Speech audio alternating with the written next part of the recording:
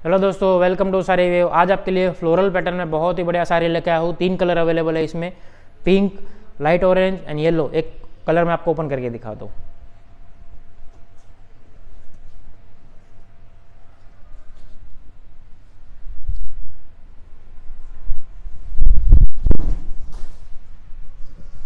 ये देखिए, इसका पल्लू है। टसल वर्क के साथ पल्लू आएगा।